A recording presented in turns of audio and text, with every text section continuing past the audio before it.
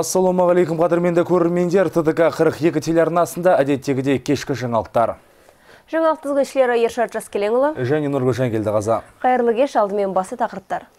Мемлекеттік емес ұйымдардан мемлекетке пайда бар ма, әлде ақша жасаудың айласы ма? Бином жанармай бекеті ашылды. Қыста конькимен сырғанауды жаны сүйетіндер үшін жастық мұз алаңы өз жұмысын бастады.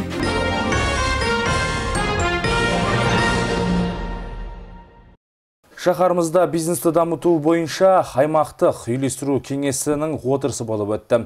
Кездесуде жалпы саны 12 жаңа жоба қаралды. Олардың барлығы комиссия мүшелері тарапынан қолдау тауып 1 миллион теңгеден астам сомадағы қаражатқа ие болды. Толығырақ тілші баяндайды. Биыл облыста 4,7 миллиард теңгеге 96 жоба мақұлданған. Атап өтер болсақ, оның 4,5 миллиард теңгесі 89 жоба пайыздық мөлшерлемемен субсидияланған. Ал индустриалды инфрақұрылымды дамыту бағытында 129 миллион теңгеге 7 жоба орындалған. Осы аймақтық үйлестіру кеңесінде тағы 12 жаңа жоба қаралды. Проходит завершающая в этом году Бұл биылғы жылы соңғы рет өткізіліп жатырған үйлестіру кеңесінің отырысы жалпы 12 жоба қаралды. Олардың сомасы 1 миллиард теңгеден астам. Биылғы жылы облысымызда шағын және орта бизнесті қолдауға көптеген мүмкіншіліктер болды. Соның ішінде осы салада 80-ге тарта жоба жүзеге асырылды. Банктерде бұл тарапта қаражат беру жағынан белсенді түрде көмек көрсетті. Бұл жобалардың арасында агроөнеркәсіп, азық-түлік өндірісі, бетон бұйымдар, сауда дамыту, жүк тасымалы, құрылыс, медицина саласына қатысты қызмет түрлері болды. наша компания работает порядка пяти лет на. Біздің кәсіпорнымыз нарықта 5 жылдан бері жұмыс жасап келеді. Негізінен күкіртсутегі газын тасымалдаумен айналысады. Тапсырыс беруші жайық мұнай жауапкершілігі шектеулі серіктестігі. Бүгінде Батыс Қазақстан облысы аймағында 12 адам жұмыс жасап жатыр. Біз автотұрағымызды жаңғырту үшін несие сұрап келдік. Тасымалдау көлемін де арттырғымыз келеді. Соның есесіне болашақта тағы 6 жаңа жұмыс орнын ашамыз. Тасымалдау Чинарев кен орнынан Батыс Қазақстан облысы аймағында атқарылатын болады. Кәсіпкерлердің бірі Подстепный ауылынан пиццерия ашып, осы ісін алға ілгерілетуге көмек сұрай келіпті. былтыр январь айында кредит алдық қаржы халық банктан тоғыз миллион теңге қаржылай алдық соның арқасында пиццерияны салып бітірдік бойынша осы жақта ана біздерде ашылуы соған енді кішкене ақша жетіп қалды біздерде соған дополнительный финансирование алып жатырмыз. Сол мақсатпен келіп 2010-15 жылдарда бизнестің жол картасы 20-20 бағдарламасы шеңберінде несие және жеткізілетін инфрақұрылымның 492 жобасы үйлестіру кеңесінде қаралып мақұлданған. Оларға берілген қаражат 53,7 миллиард теңгені құрайды. Соның ішінде 18,4 миллиард теңгеге ауылдық жерде 181 жоба жүзеге асырылыпты. Эльмира Рахмешева, Айболат Жағыпар, Александр Гравриев, ТДК 42 телеарнасы. Бүгін мемлекеттік емес ұйымдардың ағымдағы жыл атқарылған жұмыстары пысықталып, үкіметтен бөлінген қаражаттың игерілуі талқыланған болатын. Қала әкімінің орынбасары Марс Сатыбалдиев алдағы уақытта осынау қоғам мен билік арасындағы тепе-теңдікті бейімдейтін қоғамдарды әкімдік тарапынан қаржыландыру жалғастырып, еш өзгеріссіз болмайтындығын жеткізді. Алқалы жиын төңірегінде арна баяндасын. Әкімшілік немесе кәсіпкерлікті қолдаудағы кедергілерді ығыстыру мақсатында мемлекеттік емес ұйымдар жасақталып, нарықтық реформалармен өз жалғасын тапты. Айта кету керек, аталмыш ұйымдар ешбір бизнеске қатысы жоқ. Қазіргі таңда елімізге шағын кәсіпкерлікті дамыту керектігі айқын дәлелденіп, республикалық және өңір бюджеттеріне қомақты қаржы бөлінуде. Мысалға, мемлекеттік емес ұйымдарының кеңесімен 2014 жылға 5 миллион теңге бөлінсе, ағымдағы жылы бұл көрсеткіш 6 миллионға жетті. қала бойынша көптеген мәселелер тұр осы мәселелерді шешу үшін сіздермен бірге үкіметтік емес ұйымдармен бірге шешіп келе жатырмыз және де үкіметтік емес ұйым біз ойлаймыз осы бағытта қаржыны да келесі жылы азайтпаймыз және де осы ынтымақтастық бірлесіп көптеген мәселелерді ә, бірлесе шешеміз деп ойлаймыз әрдайым өзінің елге деген адал ісімен алдыңғы қатарда жүрген ұйымдармен жыл бойына көптеген ауқымды шаралар ұйымдастырылды. Көбіне өскелең ұрпақ пен халық арасындағы өр рухтылықты байытуға бағытталған жобалар ел арасына нық бейімделген болатын. биыл ә, ә, ремзавод аумағында ауданында ә, чернобыль ә, авариясына қатысқандардың соның ликвидациясына қатысқандардың арнайы арнайы ә, саябақ ашылды үлкен ә, ескерткіш мүсін ашылды ескерткіш ашылды. Осы жұмысты біз біздің осы жердегі осы қоғамдық бірлестіктермен бірге жүзеге асырдық. Әрине бұл орайда кәсіпкерлікті қолдауда аянбай еңбек етіп жүрген мемлекеттік емес ұйымдар мүшелерін атап кетуге болмас. Өйткені кез келген мемлекеттің экономикасын байытуда шағын және орта кәсіпкерлікті өндірістік кәсіпорындар орны басым. Сондықтан да алдағы уақытта бұл жұмыстар өз деңгейін арттырады деген сенімдеміз. Саид басар нұрлан қонашев рустам жұмашев тдк қырық екі телеарнасы. Ауа райы күрт өзгеріп, тоқтаусыз қар жауып, боран соғып, еліміздің бірқатар аймақтарында жол қозғалысы тоқтатылған болатын. Бүгін күн ашылып, тасжолдардағы қозғалыс қайта жанданды. Республика бойынша қыс мезгілі басталғалы, яғни қараша мен желтоқсан айлары 251 рет тасжолдардың қозғалысы тоқтатылған. Бұл өткен жылмен салыстырғанда екі есеге көп. Қазавтожол республикалық мемлекеттік кәсіпорын басшыларының айтуынша, соңғы күндердегі аяқ ақталған боран солтүстік шығыс және орталық Қазақстан өңірінде жол қозғалысын үлкен кедергі әкелген келген тілші тарқатады Кешегі боранда жеті облыс бойынша республикалық автожолдардың жол қозғалысы тоқтатылған. Бүгін күн райы ашылып, жолдар қайта ашылды. Тек шығыс Қазақстанда жағдай ушығып тұр, төрт бірдей жол жабылды. Қарағандыдағы жағдайға келсек, кешегі бораннан соң күн ашылып, бір тас жол қозғалысы ғана тоқтатылды. Ақталған боран тоқтағанымен күн жылып, қар еріп көктайғақ орын алып отыр. Осы күндері құтқарушылар мен жол тазалаушылардың жұмысы күшейтілді. Бес күнде қар құрсауында мыңдаған көлік қалды. Жолда қалған 500-ден астам адам құтқарылды. 2000-нан астам адам қауіпсіз жерге көшірілді. Құтқарушылар адам шығыны болған жоқ деп тәуба етеді биылғы қыс жылы болса да соңғы күндердегі ауа райының қолайсыздығынан республикалық автожолдарда жол қозғалысын жабу өткен жылдан асып түсті Для примера могу сказать так, что в прошлом году мы... Өздеріңіз көріп отырсыздар, ағымдағы жылы қараша-желтоқсан айларында күн күрт жылып кетті. Соңғы екі айда ауа райы қолайсыздығына республикалық тасжолдарда 251 рет жол қозғалысын жаптық. Бұл өткен жылмен салыстырғанда екі есеге артып отыр. Қарлы жаңбыр жол тазалаушылардың жұмысын қиындатып отыр. Бүгінде Қазавтожолдың меншігіндегі жол тазалайтын техника қажетті норманы толық қамтымайды. Сондықтан олар жергілікті әкімдіктен көмек сұрайтын кездер болады дейді. Біздің мекемеде нормаға шаққан жағдайда жолдың ұзындығы менен республикалық жолдардың бойындағы техникамен қамтамасыз ету 30 пайыз көлемінде сол себепті біз жергілікті әкімшіліктерменен жұмыс істеп жергілікті жолды қызмет жасайтын басқа да мекемелерменен келісім шартқа отырып олардан көлік техника алудамыз төтенше жағдайлар комитетінен келген соңғы мәліметке сүйенсек ауа райы тағы күрт өзгеріп астанадан павлодар қарағанды ақмола өңірлеріне жол жабылды. Қарағанды қостанай жамбыл облыстарында бірқатар тас жолдардың қозғалысы тоқтатылды. Әсел мәбілдинова ғайнзат оспанов тдк қырық екі телеарнасы астанадан. Орал халықаралық әуежайы тұманды күндері ұшақ қабылдай ала ма? Жүргізілген жөндеудің нәтижесі қандай? Арна тілшілері ұшу қону алаңының жағдайымен жіті танысып қайта назар аударайық. Әуежайда түнгі уақытта ұшақтарды қабылдау ұшырудағы шектеулер жойылды. Бұл жолаушылар үшін жағымды жаңалық. Радиотехникалық жүйені қондыру жұмысы да аяқталыпты. Бас директордың сөзіне сенсек, енді тұманды күндері әуе көліктерінің қона алмай қалатын кезі артта қалды. Установка курсоглиссадной Біздер қазір ұшақтарды автоматты түрде радиомаяк құрылғысымен басқара аламыз. Аэродромымыз бірінші санатқа көтерілді. Мөте жағдайда ең төмен дегенде 60 метр, ең жоғары дегенде 550 метр жоғарыдағы ұшақтар қона алады. Ал 2016 жылы мамыр айында қалған жұмыстарды аяқтауды жоспарлап отырмыз. Жұмыстар 15 желтоқсанда комиссияға тапсырылған болатын. Ұшу қону алаңының ұзындығы 400 метрге дейін ұзартылып, ені 3 метрге кеңіді. Жалпы ұзындығы 2 шақырым 800 метрді, ені 45 метрді құрайды. Қазіргі кезде әуежайдың жағдайы біраз жақсарды, бірақ керемет күйге жеткізу үшін әлі де көп күш керек. Меніңше әуежайды одан да қайта салған дұрыс сияқты. Әуежайда жарық дабыл құрылғысы пайда болған. Электр жабдықтауы бірінші санатқа көтеріліп, апаттан құтқару қызметі жасақталды. Бұл мақсатқа 6,3 миллиард теңге жұмсалған болатын. Эдмира Рахмешева, Айболат Жағыпар, Александр Граврев, ТДК 42 телеарнасы. Қала тұрғындар мен қонақтардың назарына бүгін сапалы евро 4 бензині және дизель отынмен қамтамасыз етілген бином жанармай бекеті өз тұтынушыларына есігін айқара ашты. Заманауи техника, білекті мамандармен жабдықталған станция көлік жүргізушілері үшін барлық қолайлық жағдай туғызып, сапалы қызметпен қуантпақ. Жаңа жыл қарсаңында барлық қала тұрғындары үшін тосын сый болған бином бекет туралы толығырақ тілші бейнематериалында. Ресей Федерациясының маңдайалды бензин өндіруші зауыттарынан шығарылған өнімді қала тұрғындарына ұсынып, кез келген жүргізуші темір тұлпарына өте пайдалы өнімді тұтына алады. Бұнымен қоса, көлік тізгіндеуге қажетті сұйық майлар мен азық-түлік өнімдері де халық назарына ұсынылған. Сондай-ақ жолдан шаршасаңыз өте жайлы дәмханадан тамақтануыңызға болады. Компания Урал Жанойл выражает вам благодарность.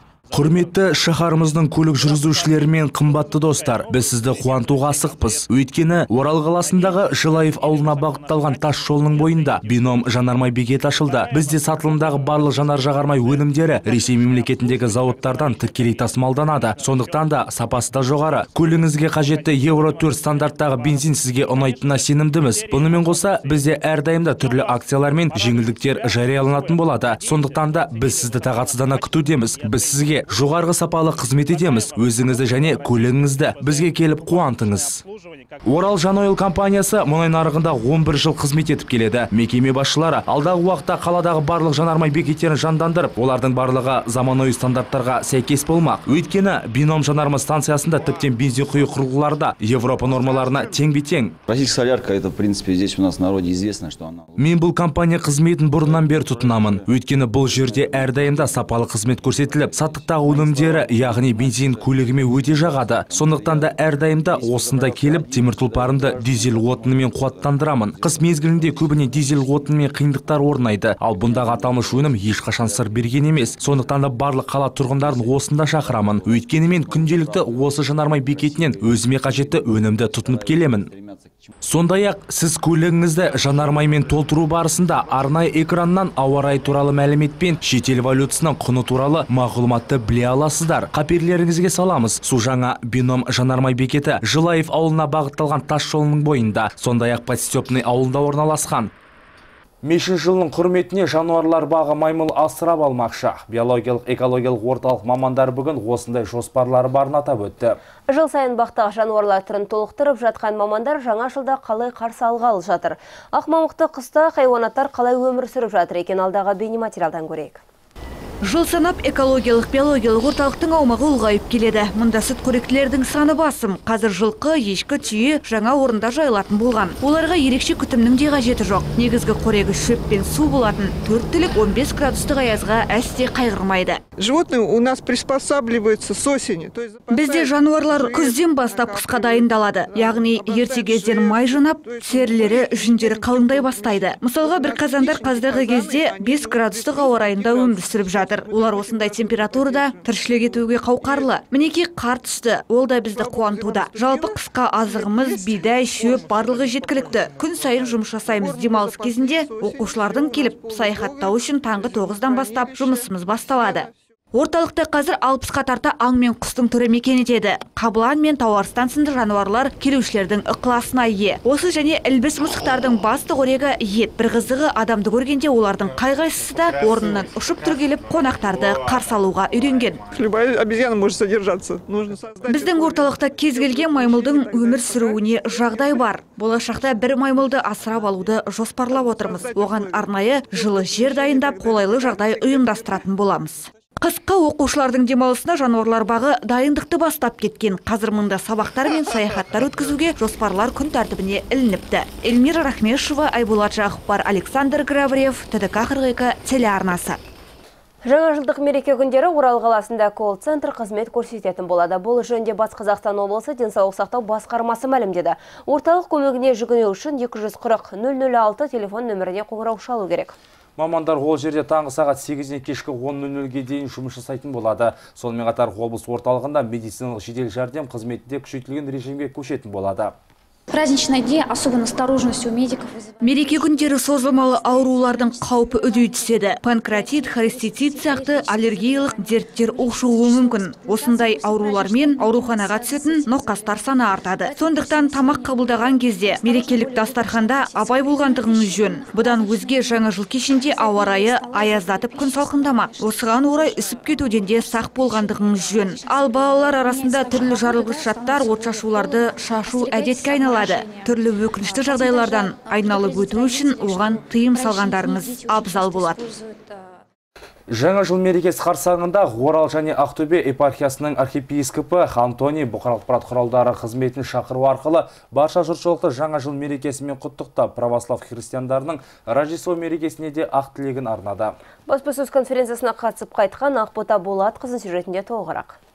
Орал және Ақтөбе епархиясының архиепископы Антоний жыл соңында бұқаралық ақпарат құралдары өкілдерімен кездесуі дәстүрге айналғандай. Кездесу аясында Рождество мерекесінің тойлану жағдайы кеңінен шертілді. Рождество мерекесі бір жағынан Иисус Христостың дүниеге келген күні ретінде діни сеніммен аталып өтілетін қасиетті күн деп саналса, екінші жағынан жаңа жыл басталар күн деп жұртшылық тілек тілеп ауыз ашатын күн. Если Рождество мерекесі діндарлардың жүрегіне қуаныш пен үміт ұялатып, қайырымдылық пен әділдікке, мейірімділік пен кешірімділікке сенудің нышаны болып саналады. Әңгімелесу аясында діндар тарапынан бейбітшілік пен келісім сөздері жиі айтылып, теріс діни ағымдардан келер кесел жайы да әңгіме аясына арқау болды. Бұдан өзге архиепископ Орал тұрғындарын жаңа жыл мерекесімен құттықтады. Сердечно поздравляю всех э, Құрметті қала тұрғындары, сіздерді таяу уақытта төрімізге енетін жаңа жыл мерекесімен Рождество күнімен құттықтаймын. Біздің еліміздің мызғымас бірлікте болуы елбасымыздың асыл мұраты. Осы жарқын мерекеде барша діндарларға денсаулық, рухани күш, отбасы бақыты мен игі жақсылықтар тілеймін. 8 қаңтар күні қаламыздың Астровский атындағы орыс драма театрында Рождество шыршасы ұйымдастырылмақ. Сонымен бірге келер жылдың ақпан айында епархия 25 жылдығын атап өтсе, 14 наурыз күні православ христиандарының ұлы ораза айы басталмақ. Ақбота Болатқызы Дәурен Сенбеев, Александр Грабрев, ТДК 42 телеарнасы. Сити-центр ойын-сауық кешеңде балаларға базарлық Art Dance би студиясы жаңа жыл қарсаңында өзінің есеп беру концертін өткізді. Мың бұралған бейшілер өнерлерін ортаға салып, жиылған жұрттың таңдайларын қақтырды. Ал концерттік шара тәмамдалған соң жаңа жылдық ертеңгілік басталып, сәбилер көңілін көтерген болатын. Аталмыш мерекеде арна тілшісі болып қайтты. Толығырақ сюжетте. Өнерлі өрге жүзеді. Шаһарымыздың үлкен кіші тұрғындарын би өнеріне баулып, олардың бойына мәдени құндылықтарды сіңіруде Art Dance би студиясы қарқынды жұмыстар жүргізіп келеді. Бүгінде Сити Центр ойын сауық орталығында аталмыш өнер ошағының жас өрендері шағын есеп беру концертін ұйымдастырып, жаңа жыл қарсаңында қала тұрғындары мен қонақтарына тамаша көңіл күй тарту етті. Сегодня в этот замечательный предновогодний день Бүгін жаңа жыл қарсаңында шаһарымыздың маңдайалды би студияларының бірі болып табылатын Art Dance екі бірдей мерекелік шара өткізуде. Мерекелік бағдарлама шағын би есебі өткен соң жаңа жылдық шырша ертеңгілігімен жалғаспақ. Мұнда Art Dance-тың үлкен отбасылық құрамы болып, ата-аналар және балалармен бірге бүлдіршіндердің өнерін тамашалауға 200-ден астам адам жиналып отырмыз. Балалар өте талантты, керемет билейді. Концерт барысында өз жас ерекшеліктеріне қарамастан мың бұралған бишілердің барлығы кәсіби деңгейде өнер көрсеткен болатын. Шеберлік қасиеттері әр баланың қимылынан ақ байқалып тұр. Бала қамын ойлап кішкентай кезінен бастап өмірлерін өнермен байланыстыруға баулып, үлкен тәрбие мектебіне айналып отырған Art Dance би студиясына балалар алғысын айтып, қала халқын жаңа жылдарымен құттықтады. Маған